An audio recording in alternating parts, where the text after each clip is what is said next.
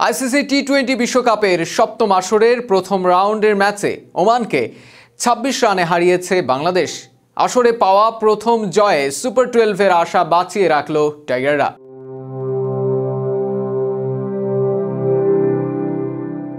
ওমানের আল আমেরাত ক্রিকেট স্টেডিয়ামে টস জিতে প্রথমে ব্যাট করতে নেমে পাওয়ার প্লেতে মাত্র উনত্রিশ রান জড়ো করে বাংলাদেশ। দুই উইকেট হারিয়ে প্রথম ছয় ওভারে ফিল্ডিংয়ে রেস্ট্রিকশন চলাকালে দল চার হাঁকায় মাত্র দুইটি, ছক্কা একটি। তৃতীয় ওভারে পঞ্চম বলে দলীয় এগারো রানে প্রথম ব্যাটার হিসেবে বিদায় নেন লিটন দাস। তার আগে সাত বলের মোকাবেলায় করেন মাত্র ছয় রান।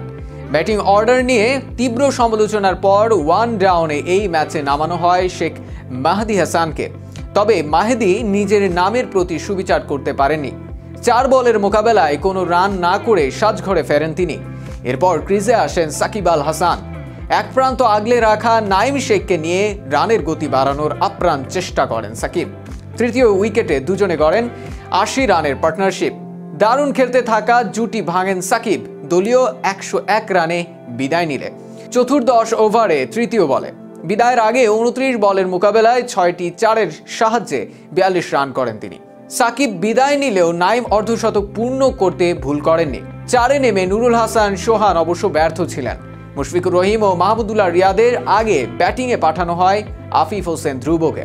তবে তিনিও বিদায় নেন চার বলে মাত্র এক রান করে।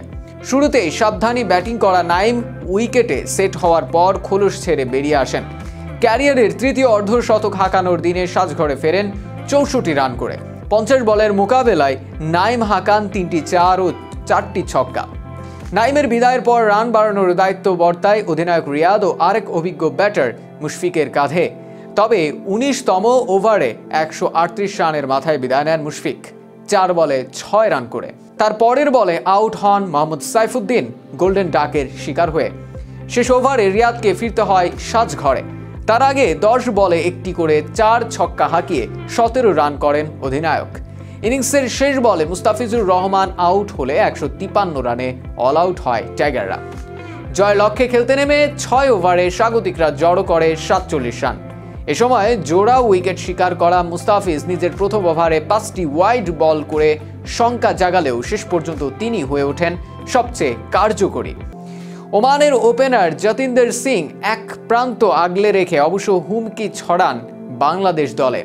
দলীয় একাশি রানে অধিনায়ক জিশান মাকসুদকে সাজঘরের পথ দেখান শেখ মাহদি হাসান। হুমকি হয়ে ওঠা যতীন্দারকে ফিরিয়ে দলকে স্বস্তি এনে দেন সাকিব। আউট হওয়ার আগে তেত্রিশ বলের মোকাবেলায় চল্লিশ রান করেন, চারটি চার ও একটি ছক্কা হাঁকানো যতীন্দার।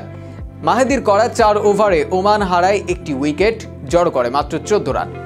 পঞ্চম উইকেটের চাপ সামাল দিতে পারেননি আয়ান খান ও সন্দীপ গৌত। সাইফুদ্দিন তাদের জুটি ভাঙার পর সতেরোতম ওভারে সাকিব শিকার করেন জোড়া উইকেট। আঠারোতম ওভারে আক্রমণে এসে মুস্তাফিজ শিকার করেন নিজের তৃতীয় ও চতুর্থ উইকেট। শেষ পর্যন্ত নির্ধারিত কুড়ি ওভারে নয় উইকেট হারিয়ে একশো সাতাশ রান জড়ো করে ওমান।